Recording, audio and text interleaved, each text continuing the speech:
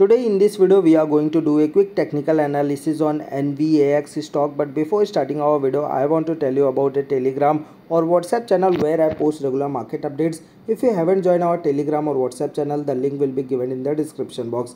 Here you have clearly seen that Novavax was traded near about 12.7 dollar. So if you're thinking to buy this stock then definitely you can buy this stock because you can clearly see that at the price of 9.5 dollar. This stock faces the resistance many times and after facing the resistance every time this stock going to sell off you can clearly see in, in this chart pattern. So if you uh, if you see at the uh, at the price of 9.5 dollar this stock gives a clear cut breakout. Uh, a long range breakout will be happen on this stock. So if you're thinking to buy then definitely you can buy this stock. By putting your stop loss below this swing or you can say 8.5 dollar will be your stop loss and your risk reward will be very favorable because your first target price should be near about 28 dollar and your second target price should be near about you can say 95 dollar will be your second target price. I hope you really like liked our video. If you like our video hit the subscribe button. I will meet you in next video. Till then bye bye take care